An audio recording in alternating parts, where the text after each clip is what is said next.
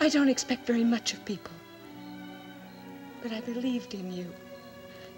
I wanted to believe in you.